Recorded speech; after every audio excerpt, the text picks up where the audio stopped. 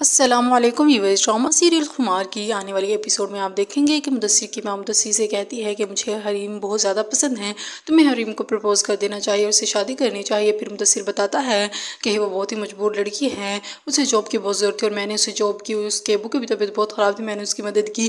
फिर मुदस्सिर की माँ से कहती है, तुमने उसकी मदद की है तो ज़ाहिर सी बात है, उसे भी बहुत अच्छा लगा होगा और अभी तुमसे उससे बात करनी चाहिए और उसे मनाना चाहिए।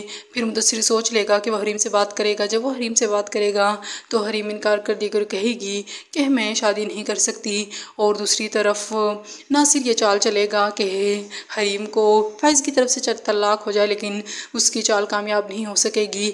और हरीम को किसी सूरत फ़ाइज़ तलाक नहीं देगा। जब फ़ाइज़ को ये पता चलेगा कि हरीम प्रेग्नेंट है तो फ़ाइज़ सब कुछ भूल भाल कर हरीम से माफ़ी मांगने के लिए तैयार हो जाएगा और फ़ाइज़ की माँ भी उसे नहीं रोकेगी, क्योंकि उसे पता चल चुका है कि उसकी दूसरी बहू ने उसके साथ जो भी किया।